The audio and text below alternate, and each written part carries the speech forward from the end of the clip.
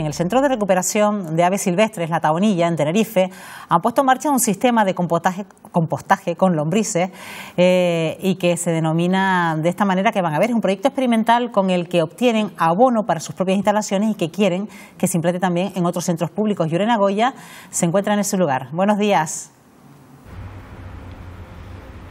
Buenos días, Canarias. Pues hoy hemos querido conocer el proyecto de compostaje comunitario con lombrices que están desarrollando en este centro La Taonilla. Trabajan con residuos vegetales y orgánicos para luego convertirlos en abono que utilizarán en sus propias instalaciones. Nos acompaña esta mañana Alfonso Molera, uno de los eh, coordinadores de este proyecto. Buenos días, Alfonso. Hola, buenos días. Bueno, ¿de dónde surge la idea de poner en marcha este, este proyecto aquí? Surge de dos convenios que hay en el Cabildo Tenerife, dos convenios de empleo, eh, nuevas oportunidades de empleo y también el eh, programa de empleo de transición ecológica, que con diversos técnicos que tienen se pusieron de acuerdo para establecer, para eh, construir este prototipo.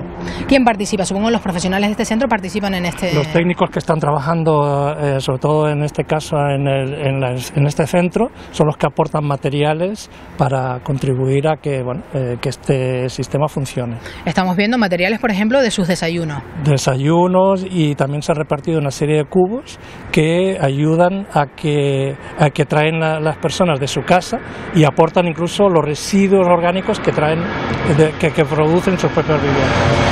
Vale, también nos acompaña Aquilina que es otra de las responsables de este proyecto. Hablábamos de compostaje con lombrices. ¿Qué diferencia hay entre el vermicompostaje y el compostaje habitual? Buenos días. Eh, la diferencia que hay entre compostaje y el vermicompostaje es que en el compostaje solamente se realiza mediante bacterias y microorganismos y el vermicompostaje ese proceso de compostaje lo realizan eh, las propias lombrices, con lo cual tendremos un fertilizante eh, con mayores nutrientes que el que se realiza en compostaje o el que puedes recoger en una grande superficie. Empezaron este proyecto hace un mes a recoger estos residuos. ¿Cuánto tiempo pasará hasta que continúen con el ciclo? El ciclo hasta, hasta que llene y madure terminará como unos cinco mesitos. Y entonces volverá al, campo, ¿no? Como abono. Eh, sí, se tendrá que cernir y eh, servirá como abono o fertilizante, sí. La idea es que este proyecto sirva como ejemplo a otros centros públicos, ¿no? Sí, realmente el proyecto piloto empezó el año pasado en distintos municipios, en Tacoronte, eh, La Laguna, El Rosario y con la propia universidad, pero solamente Tacoronte eh, ha realizado el vermicompostaje.